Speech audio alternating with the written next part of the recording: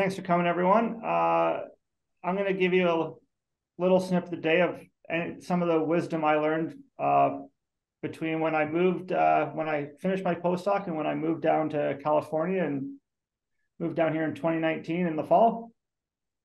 Uh, I welcome questions. I got the chat open in the side here, or if you turn your microphone on, I welcome questions during the presentation. If it was in person, I'd probably have about three slides, but instead I have about 25 slides. They're all words. I don't want you to just sit here and read the words. I just want to be more conversational. I'm going to sit here and talk to you about some of these things. If you want me to elaborate on anything, uh, you can just feel free to stop me. Uh, the slides are more so that when they share the recording, if you want a particular piece of information, I'll already have the information kind of bullet point for you, and you don't have to listen to my voice for 30 minutes to find that one bullet point you wanted to uh, look up. Uh, so there we go. I want to bring this up to kind of the old way of thinking. When I started my PhD, this was kind of the way we thought about academia versus industry. And the first thing I was told when I moved down to Silicon Valley is you do not call it industry. Uh, if you're going to call something called biotech, you can call it pharmaceuticals, drug discovery, but biotech, everyone accepts. Uh, and I hope to share with you today that I don't think this is the way it is anymore after spending time on both sides of the fence. Uh, it really isn't a shady selling out kind of idea, that it's actually a very noble endeavor. And it's very fulfilling. So today we're going to talk a little bit about uh, working in a startup, how you can use your academic training. What I found are the major differences between working in an academic posting versus a biotechnology posting. Uh, and then I did spend a little bit of time at a larger company, so I can tell you a little bit about what I've noticed about the differences between working on a startup versus one of these larger companies. Uh, I can also share with you some of the information I learned on the job hunt that I can tell you that I was not successful at first on my job hunt. I had a lot of people give me some pointers.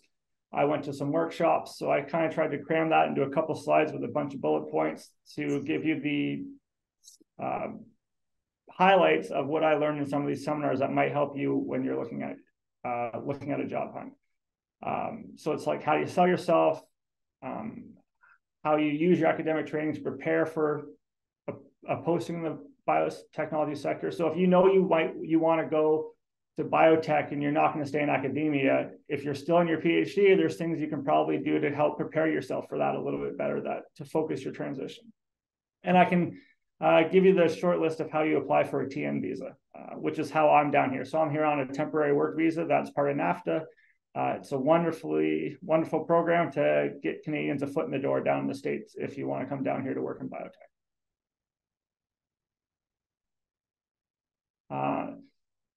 So just a quick thing about me that I did my training in a few different universities, but all in Ontario. So I'm very much Ontario trained. I was in kinesiology at the University of Waterloo, always looking at glucose supplementation, exercise physiology. So always around glucose metabolism. I went to Sick Kids Hospital in Toronto. Uh, I was at the University of Toronto uh, biochemistry department. I happened to, it wasn't by design, but I ended up staying in glucose metabolism and looking at insulin resistance models, but more at the cellular level and intracellular sorting. And then I hopped down the highway to McMaster. I joined Jonathan Schertzer's lab, uh, who I actually met him when he was a postdoc in the same lab at U of T. Uh, and I came to do a postdoc with him. And again, just happened to stay in glucose metabolism and insulin resistance. So I kind of had a theme that worked in my favor in the end. Uh, and I was looking at microbiota, and that's where I got into the microbiota research, and that's what I do now at Siolta Therapeutics. Is uh, we're very much we're a microbiota based company. Uh, okay, sorry, I just looking at the chat, but it was Leslie telling me how to ask a question. Uh, so after my postdoc, uh, I moved down to California. Uh, turns out I didn't have a you know, I want to go into biotech mentality. I thought I was going to be an academic. I decided that I didn't think I wanted to be a professor because I didn't like the idea of um, running my own small business. I love the science. I wanted to be a scientist, but I did not like the idea of running my own company. Company. So Uh, I wasn't sure what I was going to do. I thought I'd be a research associate. Uh, there was a question, how long was my postdoc? It's actually six years. Uh, so actually, I spent, I had a pretty long academic training. I did a my four-year undergrad, two and a half year master's, six-year PhD, six-year postdoc. So I was a, I was seasoned by the time I got down here, you could say.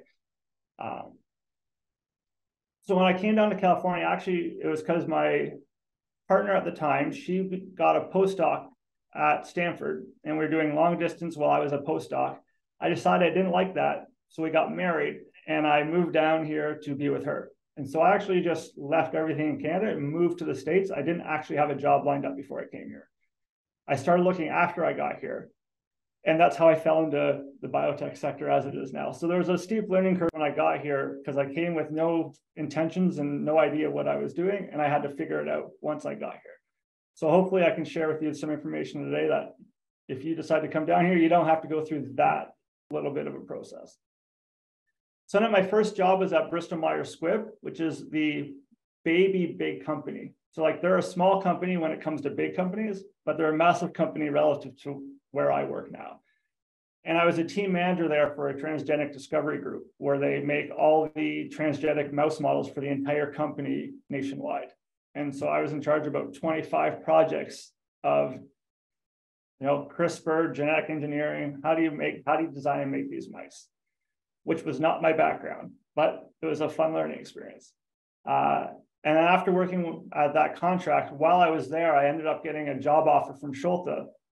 Uh, to, and to, they were trying to diversify their portfolio. Uh, so we're an allergic disease company. We're in stage two clinical trials for our lead candidate product, but they wanted to expand that. And they, I was able to get my foot in the door by being a metabolic disease specialist, microbiota-based diseases, they hired me to come uh, start a new drug discovery program for them. And it was more my wheelhouse of what I did with my postdoc. So I jumped ship from Bristol Myers Squibb. So I actually left that uh, contract after five months uh, and jumped into Siolta.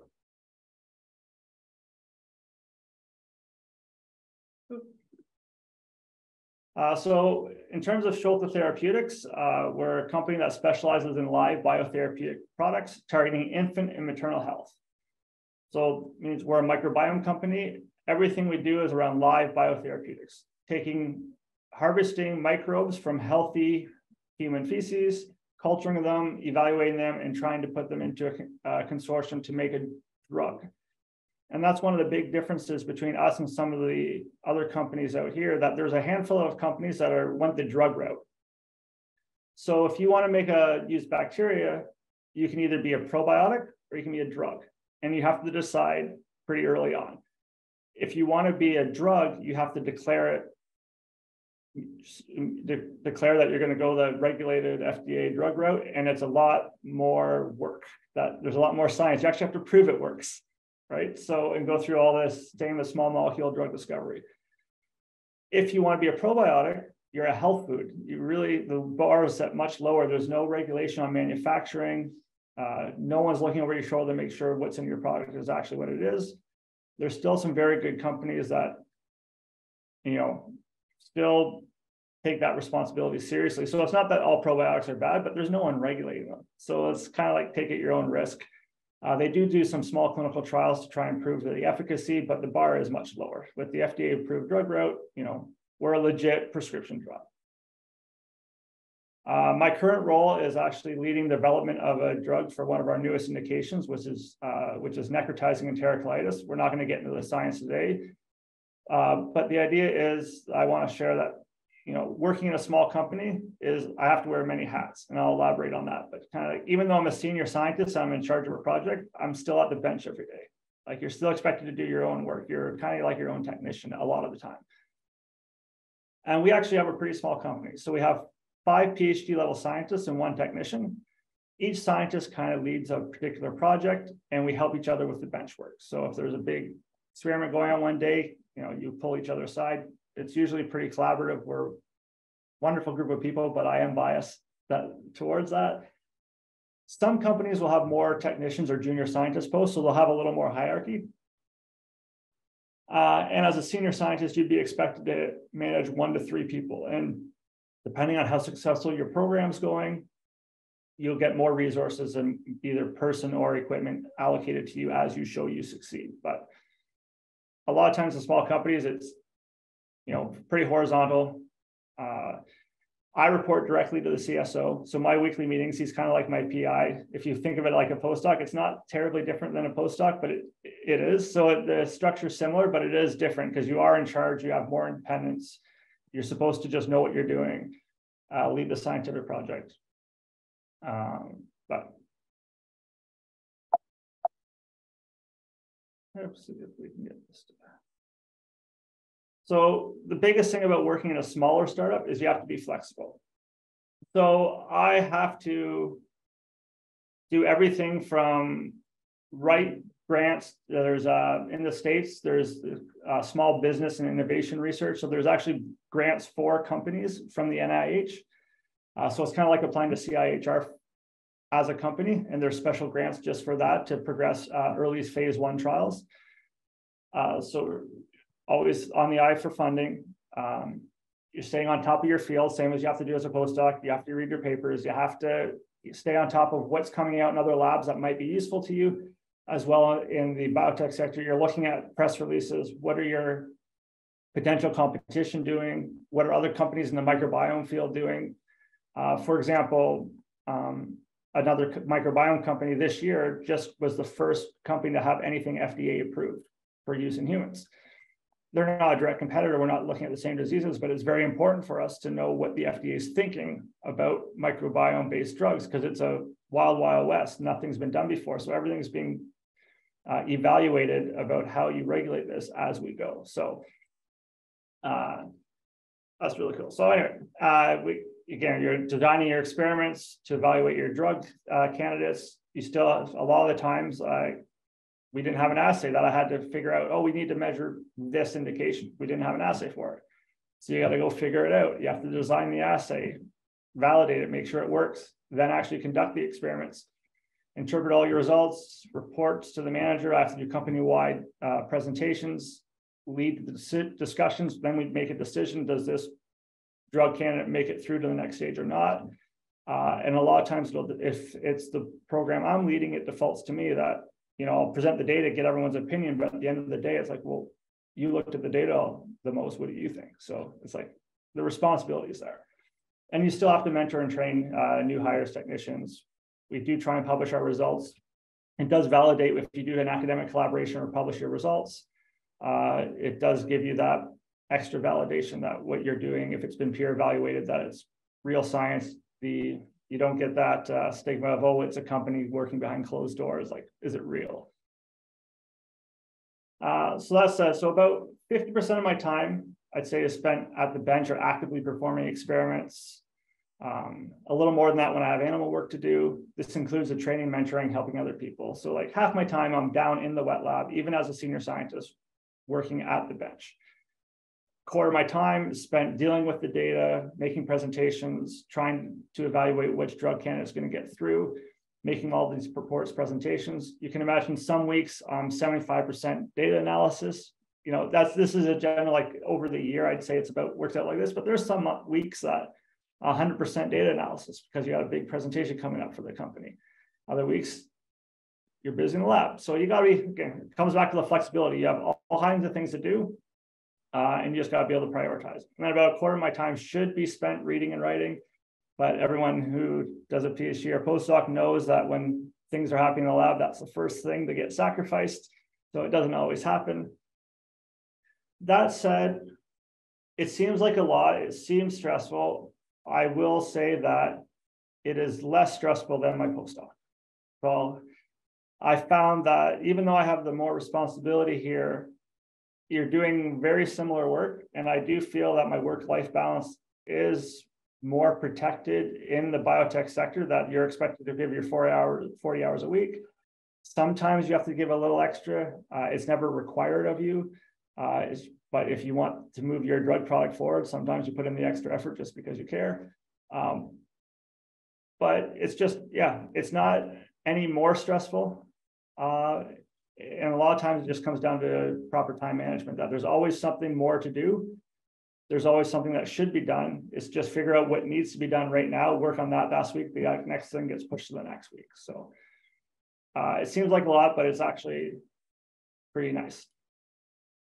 Um, so I guess you can maybe guess that, you know, I'm a proponent of, uh, of biotech. So I want to just take a second to that, you know, why might you want to work here? Why I think you might want to work here? And, oh, do you have a question? Oh, all right. So one thing is you have an opportunity to apply all facets of your academic training. That's what I'd say. So everything I did in my postdoc, in terms of from bench work to reading to assay design, and like I use everything I did in my postdoc, I do at my current job as a senior scientist at a small company. Uh, I'd say it's similar to academia in that you're on the cutting edge of developing new science. Everything I work on, it's because no one's done it before. I'd say it's just a different edge that we're not interested in answering a basic scientific question because it's interesting, or that, for example, like we're interested in how these two organisms interact with each other because it's neat. It's more that applied science that we talk about, you know, in the last paragraph of our grants about how our discovery is going to help progress science towards developing a new drug or a new way of diagnostics, a new way of treating something. That that kind of like last paragraph is what we do full time in the biotech sector is we leave the very basic research questions to the academics and we try to uh, read the papers apply what they've done and it's all about how do we apply that knowledge to create a better drug uh, so great you get to use your training the big difference is the, the first point here is that you have to be okay with directed scientific pursuits. If you're going to be a professor, it's kind of like a blank slate. You get to choose the direction that you want to move. In the biotech sector, you know, your CSO pretty much tells you what to do. Like, but in broad strokes, right? So the biggest difference here is mindset is will answering this question get me a better drug product? If the answer is yes, you'll probably be allowed to do the experiment. If the answer is no, you're probably going to get told to move on, even if you find this really interesting phenotype. And I've had this happen since I've been here is that we saw something unexpected. It was really interesting, but we had a meeting about it and decided that, well, even if we figure out what this is doing, it's not going to help us choose which drug, which bacteria are going to go in the drug. So we had to drop it. So you have to be able to let something go. And that's really a big thing because I guess um, like my wife is trying to go the academic route and she has the inability to do something like that. When I came home and tell her that I had this really interesting result, but I had to let it go, like it just blew her mind. Like she cannot let that go. She would have to figure out why that's happening. So she belongs in academia. Uh, if you're okay with being told in general direction, study this disease and figure out how to impact this disease in this way, and you're okay with being able to pivot if things aren't working out quite so well, or it's taking a little bit longer, costing too much money, if it's not in the interest of the company, you have to just drop it. Uh, and the other thing for uh, which isn't any different than academia is the time management. It's just that you're kind of somewhere between a postdoc and a prof in that no one's going to tell you how to manage your time or how to accomplish your goals. You're just going to be given a list of priorities and you're going to be expected to put those priorities in the proper order, meet the deadlines, and have minimum direction, but still meet all your expectations. Um, and that's very applicable to the training you get in your postdoc and your PhD. You just have to be able to apply that on the next level in the biotech sector. Uh, I'd like to speak a little bit also about difference between two companies. So I worked at Bristol Myers Squibb for five months. I was middle management. Uh, so I reported to a director. So in these companies, like you never see the CSO like the chief scientific officer, big company like that, works on the other side of the country. He's in charge of the big picture of the company. Like we never saw him. On our site, uh, so there's many sites across the country. In our site, there is three or four directors of particular programs. And I actually was high enough up that I reported directly to a director. Uh, some people will never even speak to the director. They would report to someone like me. So you have this hierarchy. Uh, and the other difference is, you know, in a small startup company, you're dealing with other people's money. Like it's all investment. Uh, at a big company, you actually have revenue. Uh, so I think Bristol Myers Squibb spends some like a couple billion dollars a year on research. we apply for grants. Our last series funding, we got 25 million in funding to cover us for years. So it's a you know pond versus ocean type of thing. Uh, so in the larger company, if you get a management type position, you're going to be more management than bench work. You're going to spend more time in meetings, and it's about keep making sure everything's moving, but you're not the one at the bench making things happen. Uh, but the nice thing is because they have revenue, there is more money for research. So the idea is that if you have a risky idea, they're more receptive towards trying that. The question still remains this thing that's the same is if, if it's good for the company, it means you're getting yourself closer to a drug product. So you're not doing as much basic research. But if you have a risky idea and it's a little more basic and it might, you know, help with the drug discovery program, you're more apt to be able to do that experiment or do that study in a larger company. Uh, the one interesting thing I learned is that I got to a larger company, and one in my first week, I asked where all the chemicals and reagents where I had to make some buffers uh, to run my gels. And my director looked at me and told me, he's like, I pay you too much money to make buffers. We buy everything pre-made. So everything's precast gels, pre-cast made buffers, not even 10 times buffer. Everything's buy the one times, just use it and lose it. Everything's ready to go. So they really spare no expense on reagents and infrastructure because they say in the end of the day, it's a drop in the bucket. Um, the money that you spend in biotech is on clinical trials. Doing anything in humans costs millions upon millions of dollars. So what you do in the lab at the bench is a drop in the bucket, relatively speaking. Time is money. Money is in the salaries and the time that they spare no expense on reagents and infrastructure. Uh, in a startup, you're really more, it's private money. Like you have to justify every penny you spend. So you're a little more risk averse uh, you spend more time at the bench. You know, there's not this hierarchy, but the advantage there is you're more of a stakeholder in your decision making. That in a big company as a middle manager, I'm not going to really make the decision about whether something moves on or not. In the small company, as part of my main job is to make decisions that will dictate what goes into the drug or not. So I have direct impact on what our what gets put into our drug, and I'll be responsible for the final formulation of a drug, which I think is pretty neat.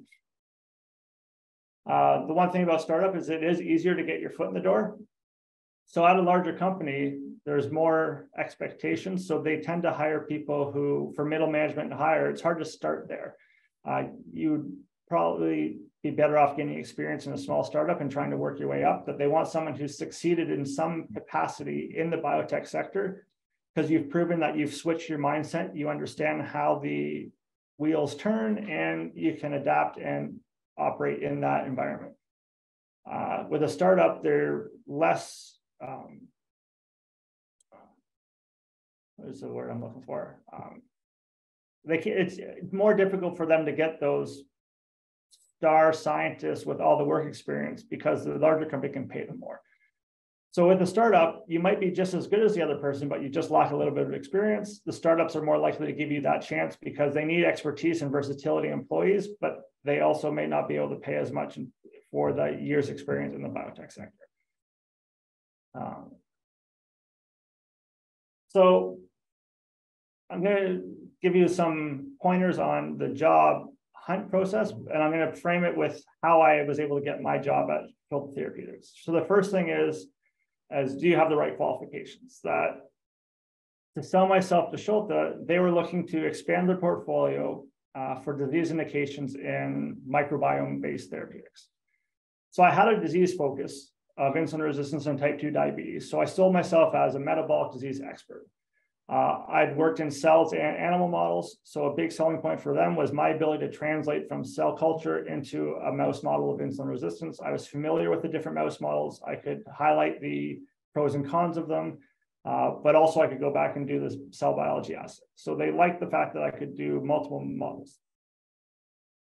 And then I see multidisciplinary techniques, which I think is more and more common now that even if you do a mouse study, the idea is you want to outsource after you know how to do it. So kind of like outsourcing everything from the get-go for yourself will hurt you in startup world that they want you to have hands-on experience. They want you to know how to do your DNA, DNA and RNA isolations, your qPCR transfections, uh, genetic manipulations of cell lines, uh, reporter assays, your microscopy, with physiology, your metabolic testing, animals, tissue harvesting. The more well-rounded you are in terms of using multiple techniques from multiple disciplines, the more likely you are to be attractive to them because you can be that person that wears the many hats and they don't need to hire five people to cover five techniques. They can maybe hire two or three people and cover the same technical expertise.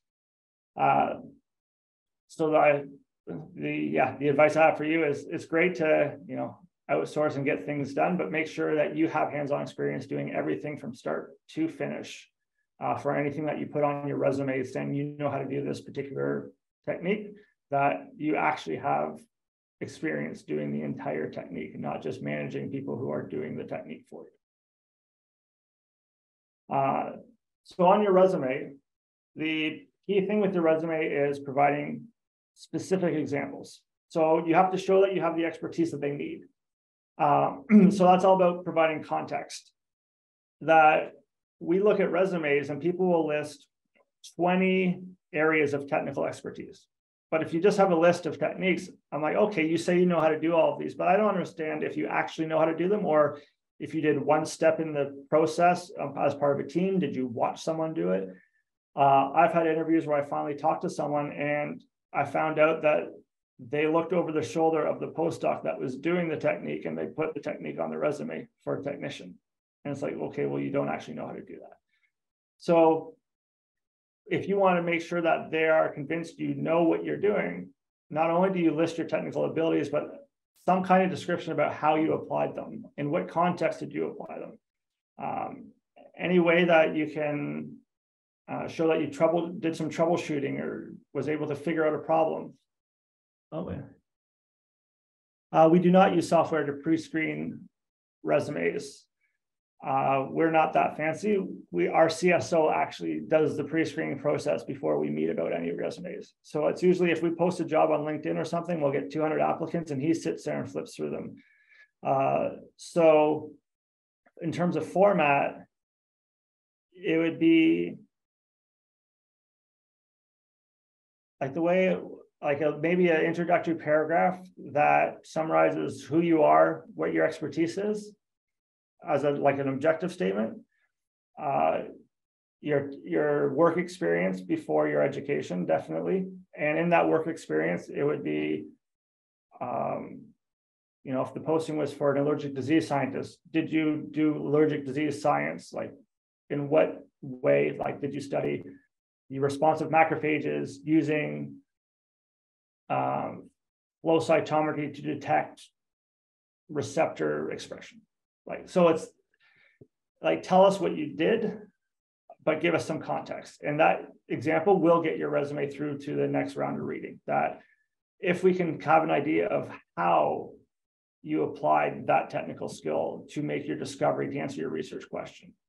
Um, and in that way, then your expertise that, okay, you're a macrophage specialist in allergic disease. Great. I can learn that that's what your expertise is. You've studied that. And in that context, you use these technical abilities.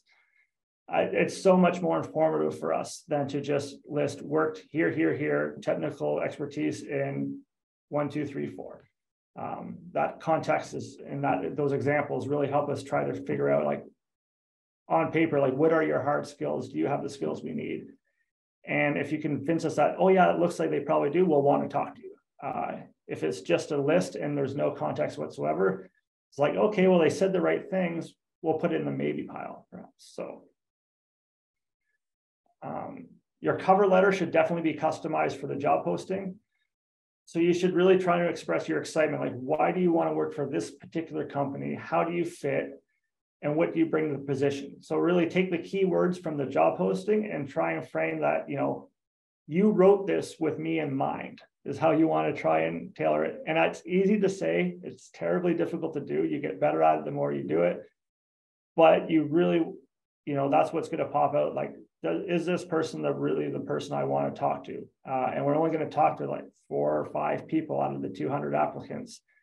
Um, so, you know, do you have the qualifications we need? Make sure those pop out and then make it obvious that, you know, you're really excited to work for this particular company.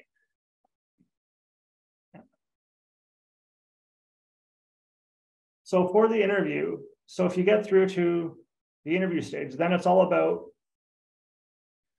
uh, I'd say the cover letter is equally important as the resume. Because again, it provides context. It's your chance to say, you know, my expertise in these help me to develop the skills you require for this job. And then you like actually name the skills from the job posting. So you want to really give the job posting back to them in the context of, yeah, you, it's like you were thinking of me when when you wrote this application. And then they'll look at your resume and you'll they'll get the uh, areas of expertise, your technical skills, uh, and then they'll decide, yeah, I want to talk to this person. But I'd say without a cover letter, you're going to be hard pressed to get a middle management to senior position. Uh, technician position, yeah, sure. Uh, you can get that with a cover letter because that's a technical position. So your resume will showcase your technical skills and we'll see whether or not you have what we want. Uh, but as a PhD postdoc level scientist, um, if I don't see, if there's no cover letter, I'm not sure you're going to get through. Sorry, that was a question in the chat. Um, so if you get to the interview, you know, you got to convince them you're, you're the right person, but you also remember that you know, they invited you in for a reason. So they already think you might be the fit. So provide them with the reason to hire you. Uh, you don't have to be you know, you want to be confident but not cocky. So you don't want to go in and make them think, you know, no one else can do this job but me. It's more like, well, I'm sure many people could do this job. There's plenty of wonderfully skilled people, but I think that I can do it as well as anyone, and I'm the one standing here. So, you know, don't come out right and say that, but that's kind of your mentality that I can do this job as any as well as anyone else, but you don't want to make it seem like, you know, you're the only person in the world that can help. Um, and this is your chance in the interview to showcase your soft skills. So your hard skills are really right. The you got your foot in the door because you had the skills required to do the job. Uh, they determine that on your resume. They invite you in because they want to see, okay, well, do you know what you're talking about? Can you present? Can you? How is your relationships with the people? How do you interact? So these are like all those soft skills we learned during our PhD and postdoc. And someone explained it to me once that the hard skills are the skills required to do the job. Your soft skills are the skills that help you do the job well. So if you're in the interview, you're really talking about your science, but you're really selling your soft, you're selling your soft skills. Um, and it's a delicate balance that. Uh, so Leslie just asked if all senior scientist positions ask uh, for postdoc experience. So at our company, Yes, that's the, I got a senior scientist position because I came straight out of a postdoc. The other scientists who senior scientists came out of a postdoc. Our two scientists that came directly from PhD came in as scientists. Uh, but we did have one, like, if it works out within two years, two and a half years, you can get promoted to senior scientist. And at our company, it's more of a, it's more of just a title. Like it's not as important. I mean, it feels good. I'm not going to lie so you get the promotion, a little bit of a pay bump, but the day-to-day work didn't change by becoming a senior scientist. So they were even as a scientist, they still had their role in the company. They had their expertise that was unique to them. I went to them for help. They didn't work for me. They weren't lower on the rung of the ladder than me because they were a senior scientist and I was a senior scientist. But you know, it looks good on a resume. Uh, but yeah, the short answer is in, in Siolta, coming in straight from a PhD, you're probably going to be a scientist. If you have the postdoc experience, you can come in as a senior scientist. Um, yeah. So the idea, the delicate balance is you need to have enough of the skills they want so that you can do the job walking in the door because they don't want to train someone at a senior level extensively. But you do want to demonstrate your ability to you know, learn quickly and adapt new skills on the job. For example, uh, I had never done microbiology before I started here. We're a company that does anaerobic microbiology. So I've learned that in the last three years. So they didn't not hire me because I couldn't do the microbiology. We had people that were excellent at that and they were able to teach me. They hired me because I had a particular set of skills they were lacking in the metabolic disease and animal model uh, realm. So I came on and I was really good at, and I taught people my things and I was able to learn from them their skills. So your ability to pivot and learn and adapt new skills is great but you do have to bring something. No company is going to hire you for your ability to learn something new. They're, you have to have something they want to get your foot in the door. Um, so it's kind of like uh, it's all about what you can do for them walking in the door. You have to fill a hole in their expertise, either technical or knowledge based, if you want uh, to be successful at getting that particular job. Because again, they're going to pay, they're paying people a lot of money to do something. They're not paying you to learn. So it's not a training position. It is very much have to have that skills coming in. Um, and even in the interview, examples are everything. Uh, that every time you tell them you know how to do something or you have an expertise in this particular technique or you have an in-depth understanding of this particular field, you know, give them context. So in that interview, uh, I just put these bullet points here. These are something I got from one of the uh, workshops I went to. Is like, what are you doing in this interview? And really, in the interview, they're trying to figure out you know, can you be successful in this particular position?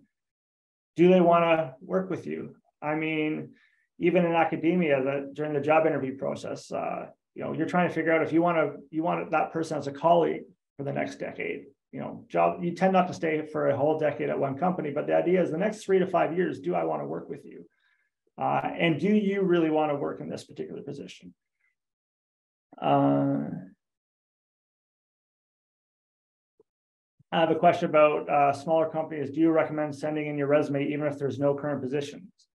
Uh, you're probably not going to get a lot of traction if they're not hiring and you said they you send the chief scientific officer an email with a resume uh, they have they get you know 100 150 emails a day they're going to look at the most important ones relative to the operation of the company if you're trying to get your foot in the door, I would, and you see a company you like, instead of going directly for the bosses, go for one of the scientists, find someone on LinkedIn that works there and try and reach out to them. So I've had people reach out to me on LinkedIn before that, hey, I really like your company, you know, would you mind talking with me? And set up an informational interview and just get information about the company, talk to them.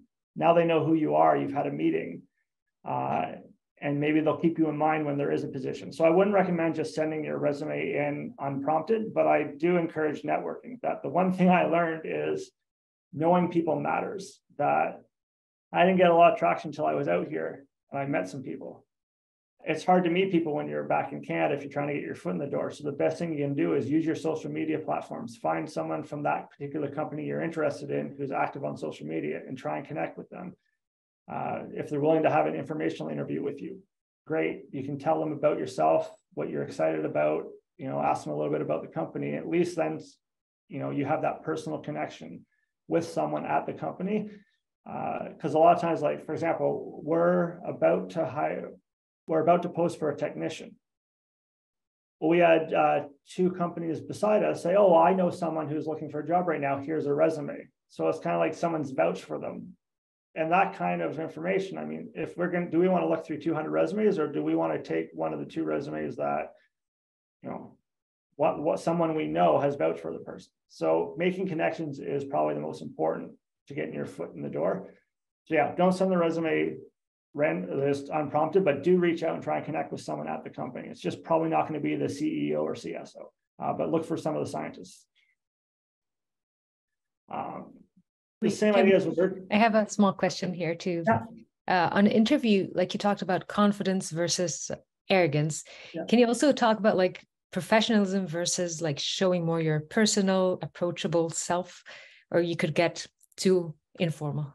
Yeah. Uh, I mean, there's all, I guess it's a delicate balance. Uh, at a smaller company, they do want to see more of that personal side. They do want to see if you're a decent person that they can joke around with. Like I, I, I dropped a few puns I know there's a couple people in the audience that know me that aren't surprised about that. But the idea is like, sh- you don't want to do it to a detriment where they think that you're just a jokester and you don't know what you're talking about. But if you can demonstrate you know what you're talking about, but you can throw in a little light humor, you can show that you know you have personal interest. When you generally, if you get in for an interview, you'll do more of that formal presentation, but then you have one-on-one meetings and it's just like a conversation like this. Like they're just trying to figure out, you know, are you who you say you are?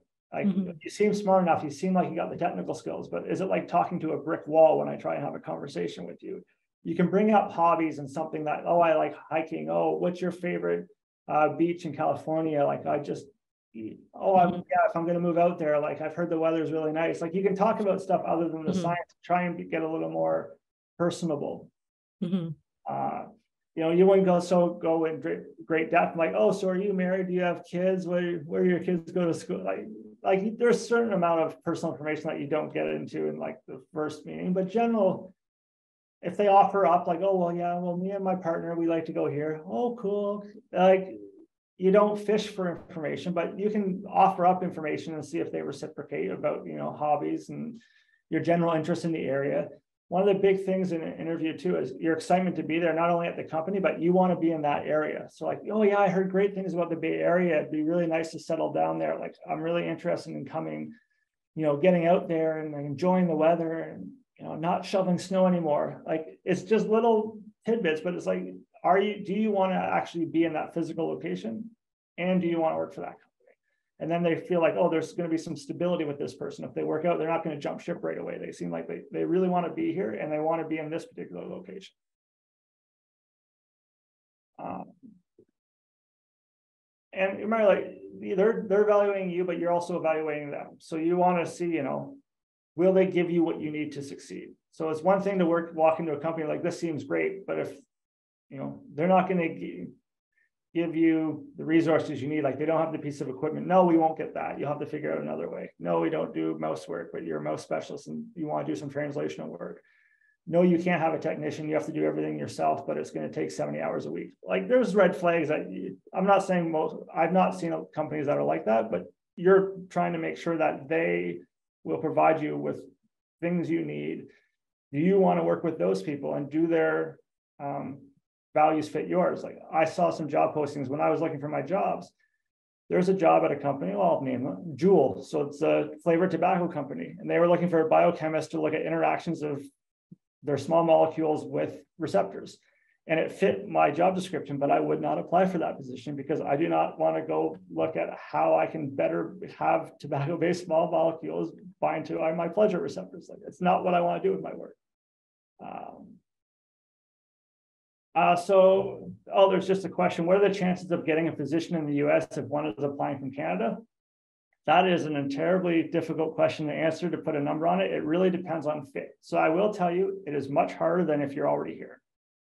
I got success because I was already physically here, so I could go in person for my interview, talk to them, uh, convince them about the TN visa. I was able to convince them in person that you know this isn't that big of a deal. I can get a work permit you know, if you hire me, like I can do this. Because uh, they had never heard of the program and they were a little skeptical. So smaller companies, they might not know all the options of the visas. They might get scared about having someone come from out of country that doesn't already have a work permit.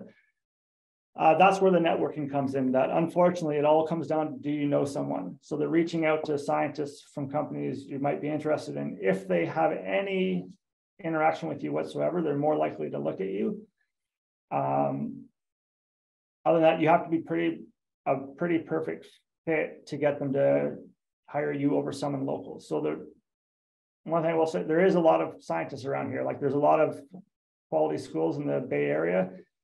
There are people here, but I said, um, if you fit the job really well and you convince them that you know you really want me, of all your applicants, like I think I can do this job as anyone else that comes through your door, and I'm here right now you can get the job, but it's not going to be something where, oh, they fit almost and they can learn on the job. That if you're physically here, you might be able to get one of those jobs.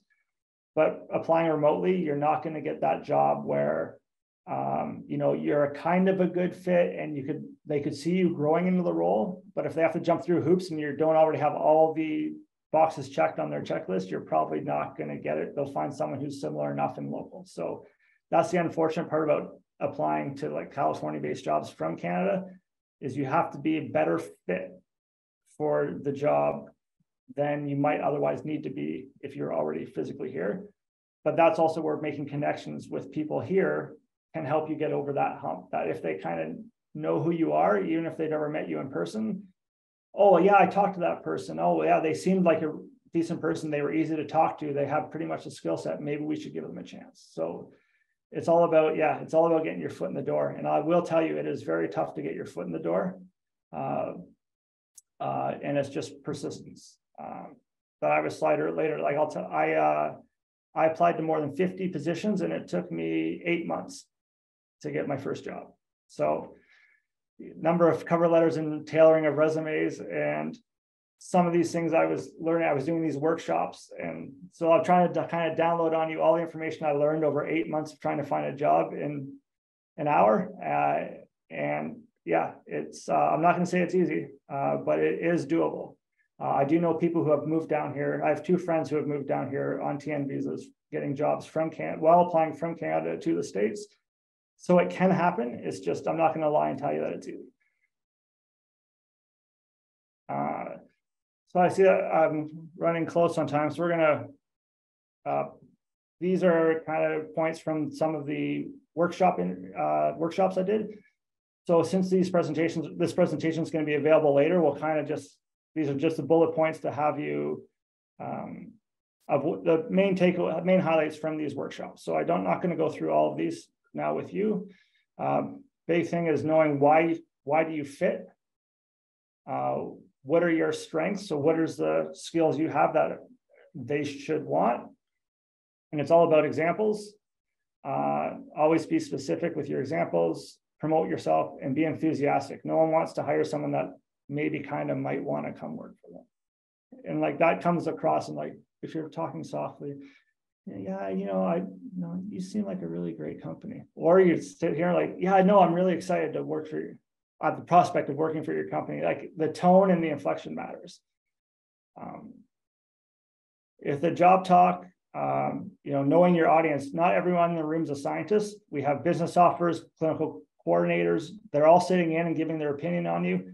So you don't want to make it seem like you're treating them like they're dumb, but you also want to make sure that everyone in the room is accessible to what you're trying to describe. And that's kind of like giving a talk at any big conference that you're going to have a breadth of expertises and you got to make your talk accessible to everyone. We can train for this. You just got to make sure you do it well when you, even in a small company, when there's only seven people in the room, treat it as if you were at a conference with 200 people in the room and make it sure everyone can understand. Um, and it's all about telling a story, uh, capture their attention, and really tell them, you know, what have you contributed so far through your work, through science? How is that going to help their company grow? How is it going to help them develop their next drug product?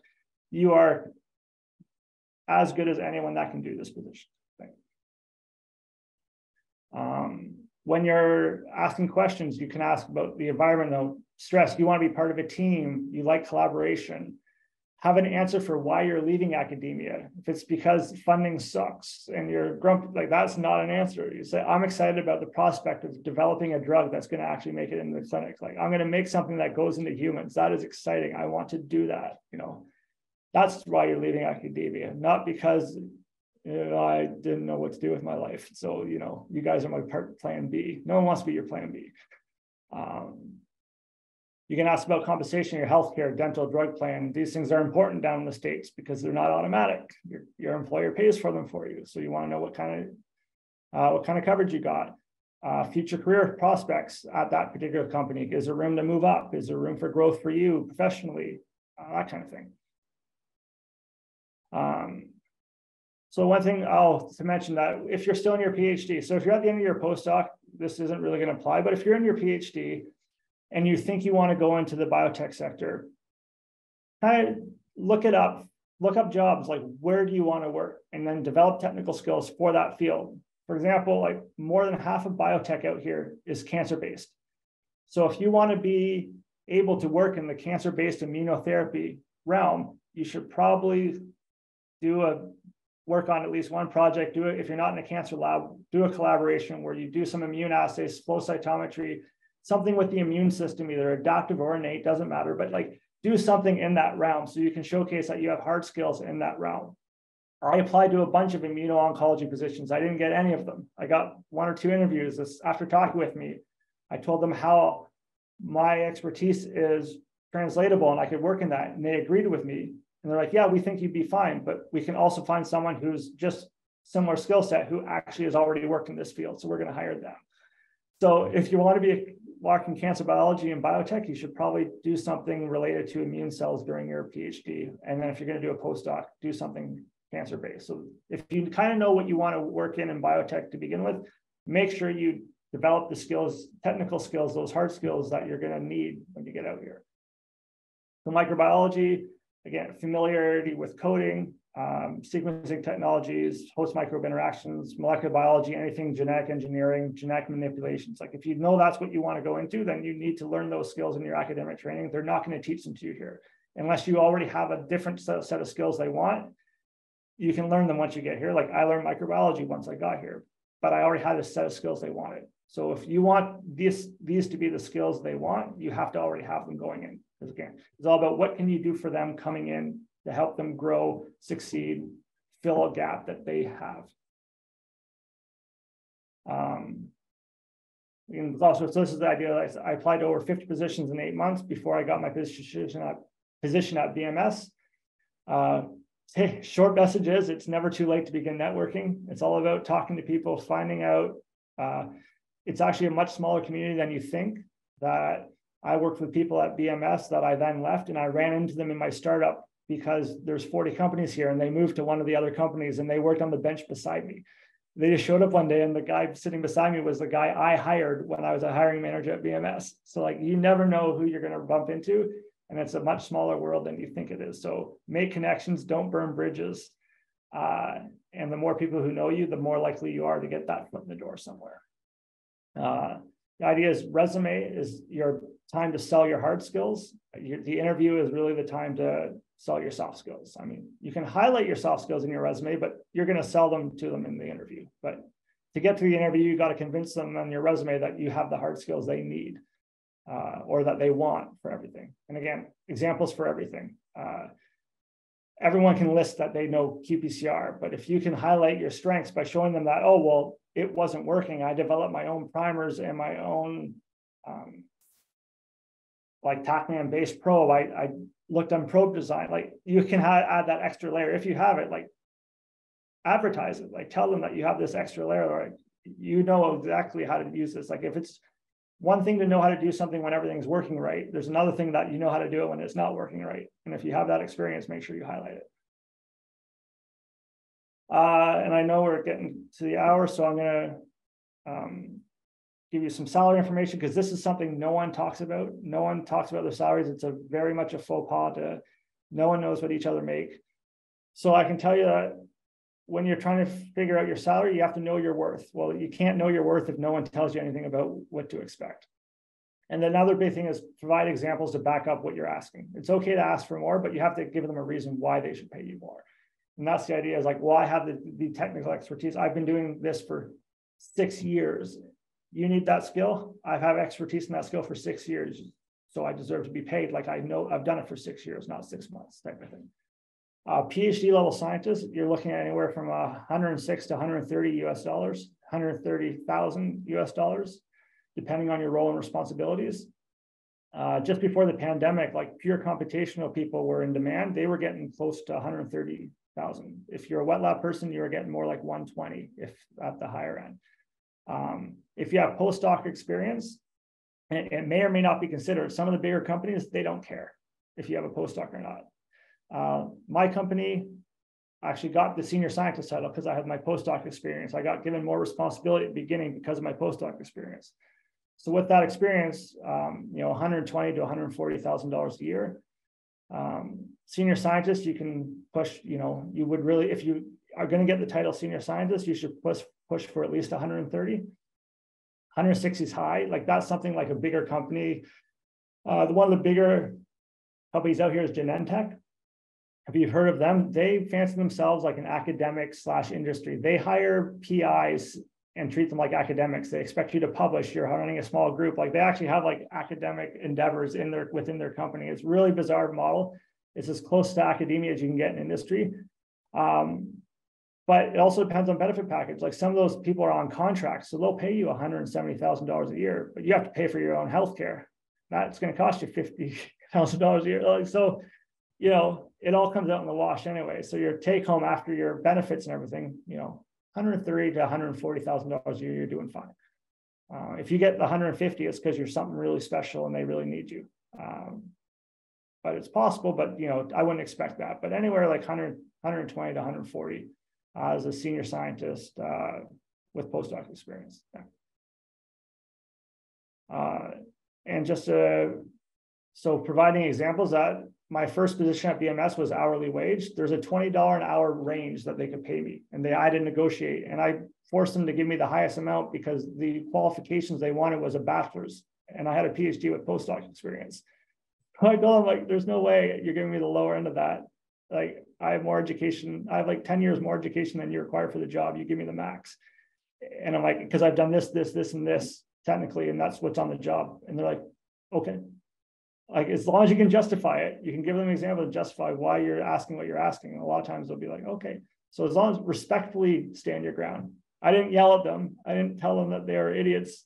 You know, respectfully just give it like, well, actually, I think I'm worth this because, and you'd be amazed that you can actually get that extra 5K a year, maybe that uh, you think you deserve.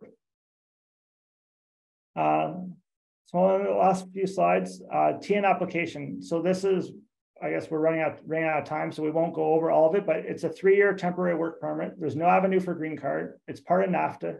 You must be a citizen. There's a list of uh, professions that qualify. So do not put something that doesn't qualify. Don't make up a job title. Scientist works, biochemist works. Uh, don't be like technical director of experimental microbiology. If it's not on the list, it doesn't qualify. So when you fill out the application, you've put something that's on the list. And there's plenty of scientist positions on the list, but just make sure to pick the one that applies to you. It is renewable. The stressful thing is you apply at the border with bags in hand.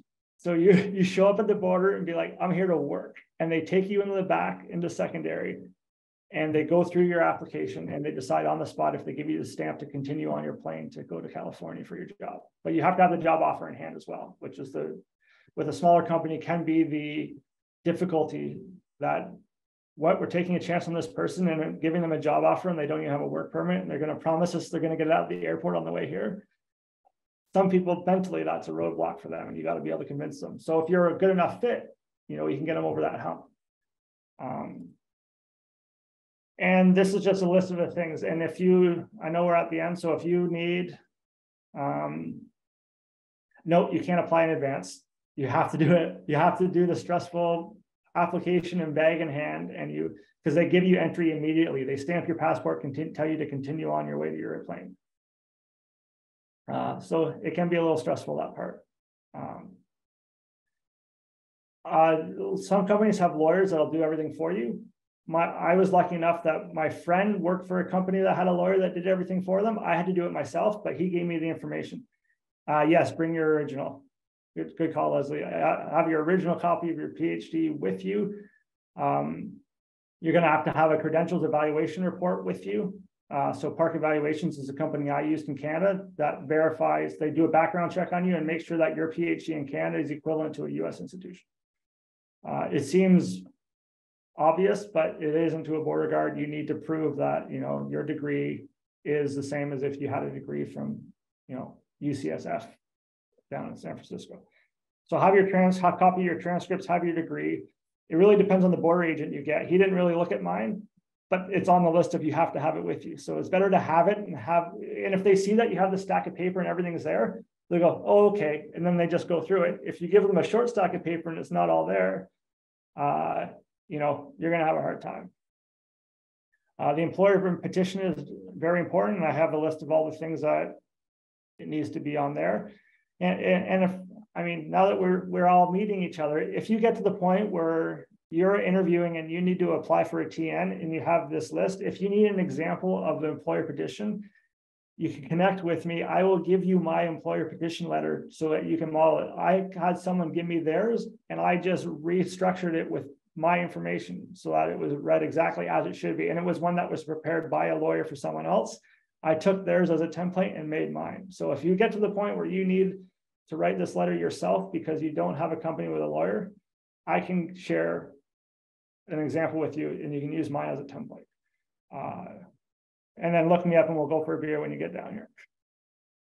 Uh, you need your resume, passport, employer EIN number. Don't ask me to say what that is, but your employer will know what that is. Employer background, one page description, employer certificate of incorporation to prove they're a real corporation and not some kind of shell company. Copies of any immigration documents that you might have, uh, optional, but I would say do it, is have a couple reference letters. Uh, so I had a reference letter from my CSO and from John Schertzer in hand with me that yes, this person is a legit scientist. He's really good at his does. Please let him in the country. Um, so, so that's a list of all the TN stuff. If you need any elaboration, if you get to the point where it's important for you to know more information about this stuff, you can reach out to me. I can give you some templates. So I guess final summary, uh, we looked at job responsibilities. You will use all of your academic training if you're working in a startup. Uh, the major difference is that whole mindset that it's, you know, will this help us make a better drug? Yes or no? Um, and then there's differences between larger and startup is largely centered around funding that uh, how much risk can you take with your project and how much time will you spend at the bench because in a bigger company you're going to be more at the desk than a bench uh, so you wouldn't do a tn for a post uh, postdoc you do a j1 visa um, it actually is easier. So if you're a PhD and you want to come down, oh, really? Cool. I didn't know that was an option. Uh, so Samaya, when she came down here, she was on a J1 visa for her postdoc. Um, I will say the nice thing about a J1 is that a spouse can get a J2 and J two is eligible to apply for a work permit. So that's actually how I got my first job is I had a work permit when I was down here but my work permit expired and I had to switch to a TN. So I actually had to fly to Vancouver, re-enter the country through the TN application process and try and come back and hope I still had a job when I got back because I had to renew all my visa process a different way. Um, so yeah, I guess it depends on the school. If the school has the administration for it and they do the J visas, I'd say a J visa is better than a TN. Um, but if you have to do a TN and you then like Leslie said, you can do a TN for postdoc. Oh, sorry, if, uh, if you're a PhD and you want to come down for a postdoc, uh, it's better to be here in person. So if you're doing a postdoc and you think you want to work in biotech in the Silicon Valley, try and do a postdoc at a school in California. You'll make you'll just meet people who have connections to startups. Everyone, every big lab out of the the big five schools down here has startup spin out of their groups. So you'll have connections to people who work in biotech just by doing a postdoc in a school down here. If you think you want to go to Boston, do a try and do a postdoc at a school in Boston because you'll make connections to the people who work in biotech in Boston. Just being physically present will give you a huge leg up um, if you're able to, you know, get a position uh, as a postdoc in the place you think you're going to want to work later is a huge advantage to physically be present. That all said, I hope that maybe now you'll think that you know biotech is just a different bright road for using your PhD. Uh, that I really enjoy it down here. Uh, I, I, find it very fulfilling. Uh, you use the same skill, like I said, just a little bit different mentality a little different application of your skills, but in the end, it's the same discovery research to try and make something better. And, it's wonderful. So anyway, uh, that is it. I know I went a little over, uh, but hopefully that was uh, some useful information. Thanks.